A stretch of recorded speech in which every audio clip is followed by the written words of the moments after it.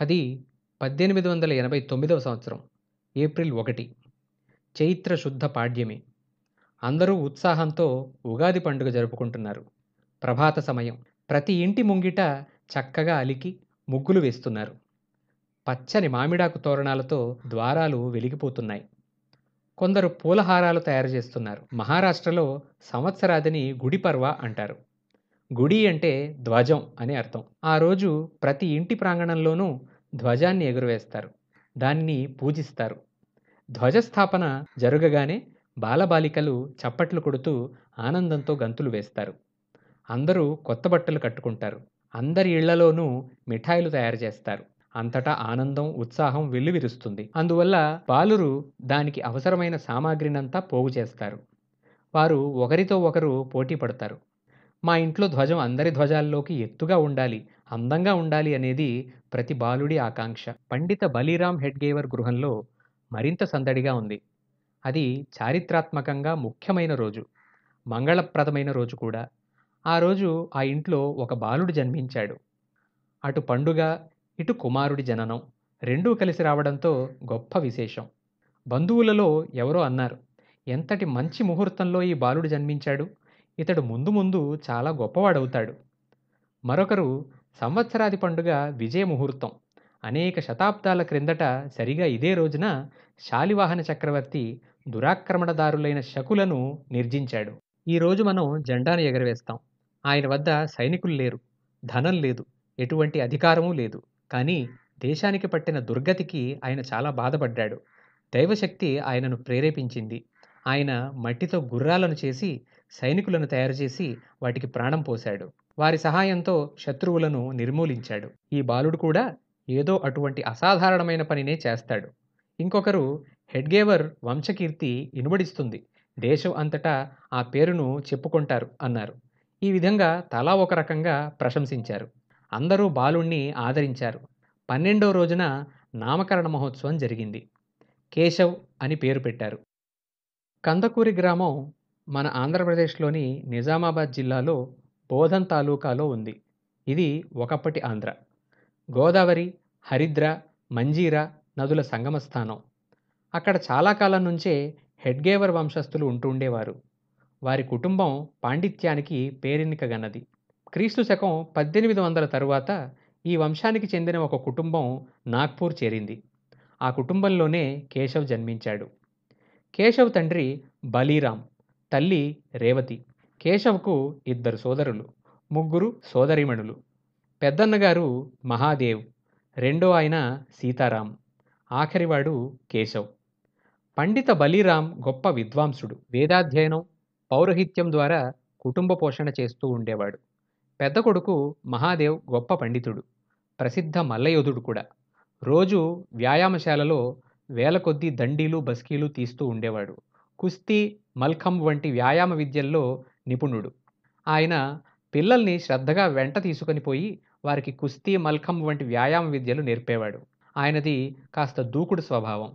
ఒకసారి ఆయన తమ ఇంటి పై అంతస్తులో కూర్చుని ఉండగా క్రింది వీధిలో కొందరు గూండాలు ఆ దారిన పోతున్న స్త్రీలను వేధిస్తున్నారు. ఆ దృశ్యాన్ని చూస్తూనే పైనుండి ఒక్కసారిగా కిందకి దూకాడు. వారిని చితకబాదాడు. ఆ రోజు నుంచి వారు మరెన్నడూ స్త్రీల జోలికి పోలేదు.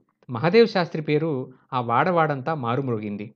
మహదేవ్ శాస్త్రికి కేశవ్ అంటే చాలా అభిమానం. ఆయన రోజు కేశవను వెంట పెట్టుకొని వ్యాయామశాలకు తీసుకుని వెళ్ళేవాడు. అక్కడ దండి కుస్తీ వంటి వ్యాయామం నేర్పేవాడు. తల్లిదండ్రుల ప్రేమకు కేశవ్ నోచుకోలేదు. క్రీస్తు శకం పంతొమ్మిది వందల రెండులో నాగ్పూర్లో ప్లేగు వ్యాధి వ్యాపించింది.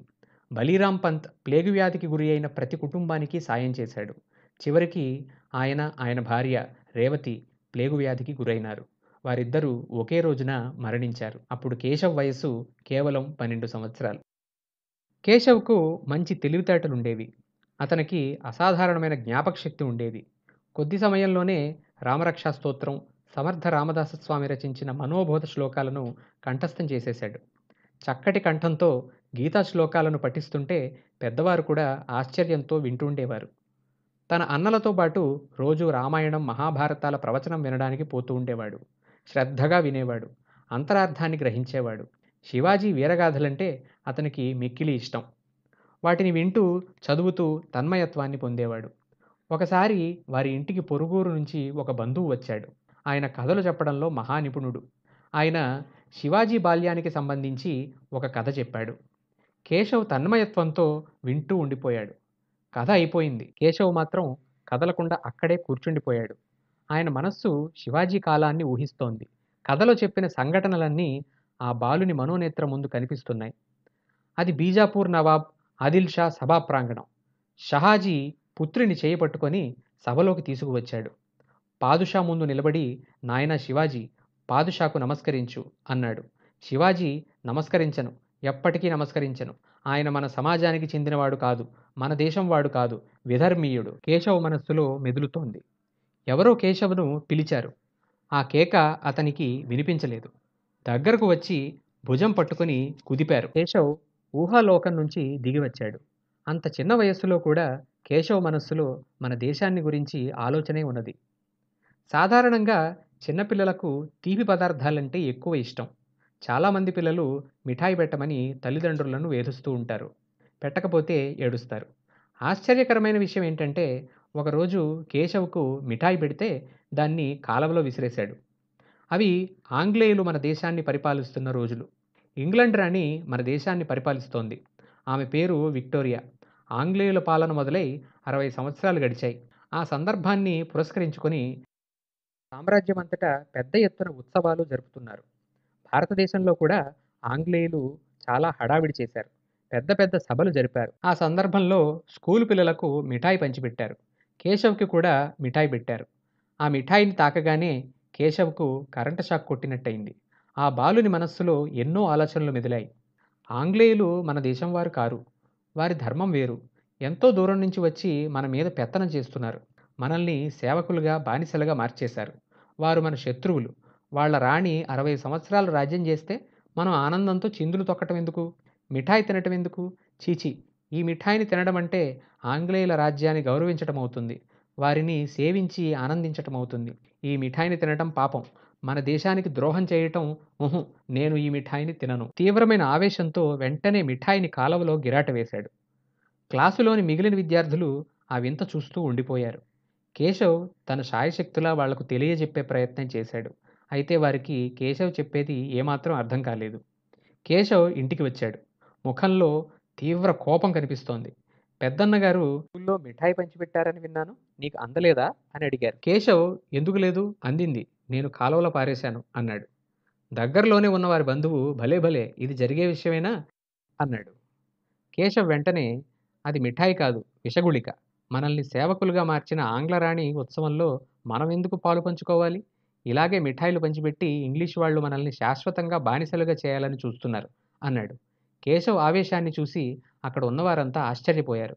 వారిలో ఒకరు ఇతడు మామూలు బాలుడు కాదు ఇతని వ్యవహారమే వేరు అన్నారు. శివాజీ కథను వింటున్నప్పుడల్లా కేశవ్ తన్మయత్వంతో తాను కూడా శివాజీ సైన్యంలోని ఒక సైనికుడు అనుకునేవాడు. ఒక్కొక్కసారి తాను గుర్రపు స్వారీ చేస్తున్నాను అనుకునేవాడు మరొకసారి కోటను ముట్టడిస్తున్నాను అనుకునేవాడు రహస్య మార్గం గుండా కోటలో ప్రవేశించి కోటను జయిస్తున్నాను అనుకునేవాడు ప్రత్యక్షంగా ఆ విధంగా చెయ్యాలని అనుకునేవాడు. నాగపూర్ మధ్యలో ఒక చిన్న కోట ఉంది. దాన్ని సీతాబర్ది అంటుండేవారు. ఆ రోజుల్లో ఆ కోట మీద ఆంగ్లేయుల జెండా ఎగురుతూ ఉండేది. అది చూసినప్పుడల్లా కేశవ్ బాధపడుతూ ఉండేవాడు. ఆయన తన స్నేహితులతో ఇంగ్లీష్ వాళ్ళ జెండాలు పీకేయాలి. ఆ కోటను మనం జయించాలి. దానిపై మన భగవద్ధ్వజాన్ని ఎగురవేయాలి అనేవాడు. ఒక స్నేహితుడు మనం ఎట్లాగైనా కోట లోపలికి చేరగలిగితే అక్కడి ఆంగ్ల సైనికులను చంపి గాని తరిమేసి గాని కోటను జయించొచ్చు అన్నాడు. మరి లోపలికి పోయేదెట్లా? అని అనుమానాన్ని వ్యక్తం చేశాడు కేశవ్. మూడోవాడు ఇలా అన్నాడు మనం సొరంగం తవ్వుదాం. నేల అడుగు నుంచే కోట లోపలికి పోయే మార్గం ఏర్పడుతుంది. పదండి ఇప్పుడే మొదలు పెడదాం. మంచి పని చేసేటప్పుడు ఆలస్యం ఉండకూడదు అనుకొని బయలుదేరారు. వారు ఆడుకునే చోటుకి దగ్గరగా వాఘే మాస్టర్ ఇల్లు ఉండేది.